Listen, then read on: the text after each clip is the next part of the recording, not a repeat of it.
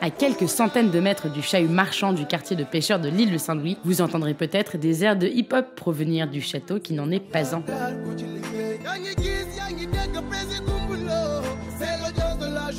Franchissez ses portes et découvrez un monde qui danse, qui crée, qui inspire. Ancien palais de la Mauritanie, les murs de cette bâtisse particulière abritent désormais le centre culturel Le Château. On y trouve sa troupe de danse ainsi que ses nombreuses activités culturelles, résidences artistiques, spectacles, productions, formations, accueil d'associations, un projet porté par tous et pour tous. À l'initiative de tout ça, un certain Alioune Diane, danseur chorégraphe local de renommée internationale, convaincu que l'art et la culture sont clés dans l'éducation et le développement.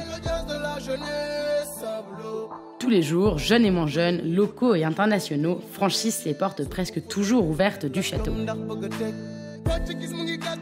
Au-delà des murs du lieu, c'est toute une équipe de joyeux lurons qui portent le projet tous les jours, que ce soit derrière leur bureau, sur la piste de danse ou encore en cuisine pour nourrir les troupes.